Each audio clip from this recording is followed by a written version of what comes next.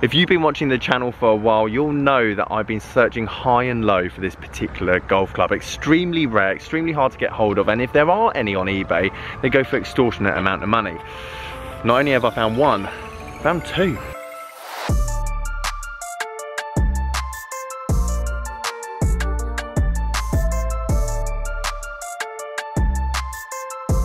the day. Delivery driving's job number one. I have about five businesses.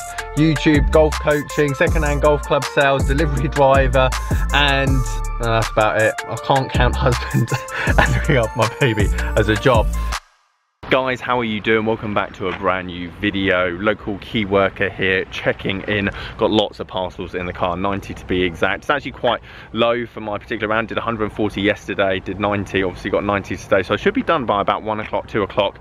Got five collections and then another unofficial collection. I'm gonna go and pick up two golf clubs. These golf clubs are extremely rare, extremely expensive, and I'm very lucky to get hold of both of them for a very good price. £100, £50 each, which is a very good price indeed. Not only that, one of these is going to go into my bag because I sold all my clubs and I'm building a second-hand bag for 2021. Let's go and drop these off. Let's go and pick those clubs up, get home. I'll show you exactly what I've got. And we are finished with job number one of the day. Delivery driving's job number one. I have about five businesses. YouTube, golf coaching, second-hand golf club sales, delivery driver, and uh, that's about it. I can't count husband and bring up my baby as a job. Going to go and pick up those golf clubs now. I'm just going to tell you what they are. TaylorMade RSI UDIs, and not just one of them, two of them. 60 pounds they were advertised. I said I'd pick up both of them for 100 pounds, and they agreed, which is exactly what I'm going to do now. I've searched high and low for this driving iron. I used to have it in my bag. I had a two with the X-Stiff shaft in it. And then it was because it was on a rental agreement with TaylorMade when I used to work at Sandford Springs. I thought, you know what, I'll just get next year's one. And the reason this thing goes for so much money is because they just didn't bring out any other driving irons for a very long time. P790 was the next one, I believe. And even then it was limited. And obviously you got the P790 newer version of it. But driving irons from TaylorMade just were non-existent. You just couldn't get hold of them for a very long time. And you can see here, Golf Clubs for Cash is advertising for £125 for a second-hand one. And I'm going to go and pick up two for £100. The good thing about this is that essentially I'm going to sell the other one for the same cost that I bought both of these for, which means that the new addition to my golf bag is free which is exactly why I make these videos to show you guys the value of buying and selling secondhand clubs to build your dream bag on pretty much nothing. It just dawned upon me whilst editing this video that I don't really want to condone people going out and using Facebook Marketplace at this particular time because of obviously everything that's going on.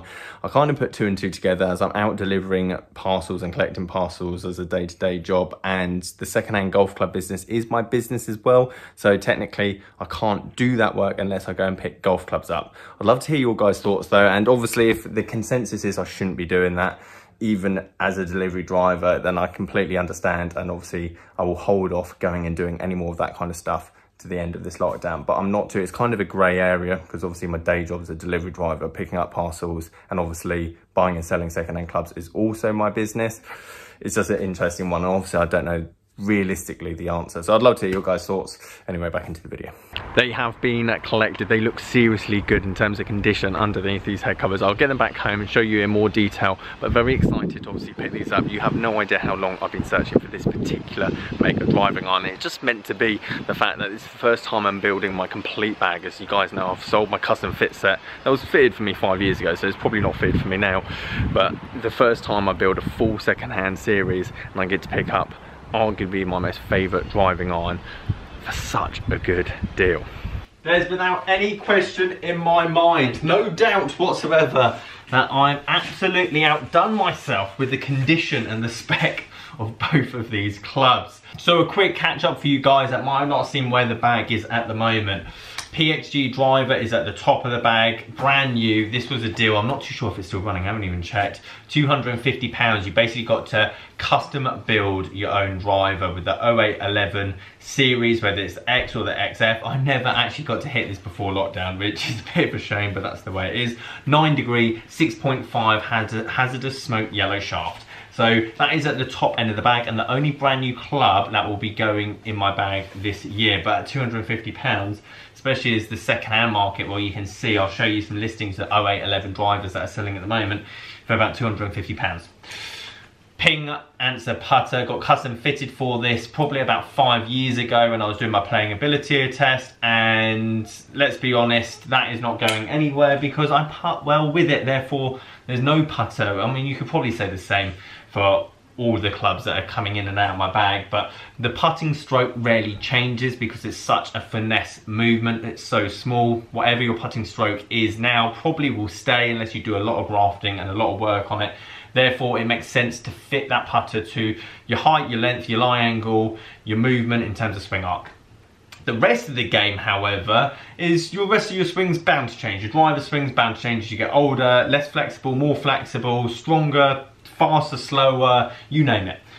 So therefore, these can kind of all change. As I said, the custom fitting that I would have had four years ago, I think now, probably, my swing's changed a lot. I've gained a lot of speed with a long drive, but then probably lost a lot of technique as well. So it'd be interesting to see if I got a club fit today where I would be at and what I'd be put in.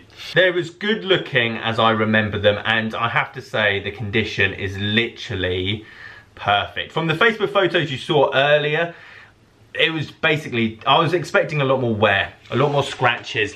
Essentially, these are brand new. I mean, don't get me wrong, there are some scratches and there are some like tiny little nicks in here, but there's no major dents and there's no rusting and everything in terms of the decal is there. Some of the TaylorMade lettering has come off, but I mean, that can be obviously repainted.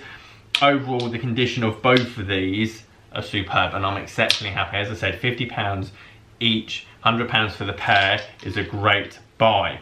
Again, I might have to reshaft the two iron to something a bit stiffer. This has got NS Pro um, stiff in, well, in both of them, which is a good shaft. And to be honest, I'd probably just go and hit it, see what it's like. I quite like the idea of getting something like a matching hybrid shaft to match my driver in the two iron as well as a three wood or five wood. Haven't quite decided what I'm going to go down the route of. So all the higher end of my bag is going to have the same shaft in it. Is that majorly important? Not really, even at my skill level, just getting something that's gonna be quite close to where my swing is, especially the amount I'm practicing, but I think it's gonna look the nuts. And what I want to see my bag to look as, even if the cost is gonna be a fraction of what a brand new set is, it's gonna look so much better than anything out on the market because it's unique, it's original, and it just matches, and obviously it'll suit my swing, but it'll be one of a kind. No one will ever have this bag, I wouldn't have thought, in the world compared to what I'm gonna build. So in terms of traditional driving irons, these are actually quite chunky. I think a lot more chunky than the P790 that's recently come out. And again, I love the P790. I think it's a great driving iron. I'm looking for ultimate forgiveness. You saw the Srixon that I had in the bag that was big chunky. I'm not looking for something that's gonna hit this penetrating, low flighted ball into long par threes, long par fives. I'm looking for something just get me down the fairway.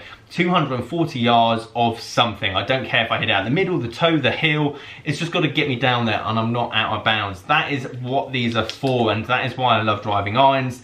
It suits my eye, it keeps the ball flight down because it's not as big as a hybrid, but at the same time, you're gonna get some level of consistency and dispersion from a driving iron than I would from a five wood and driver.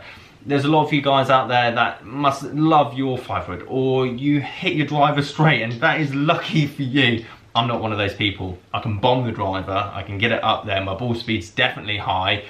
Straight is my downfall and that's exactly what these are for.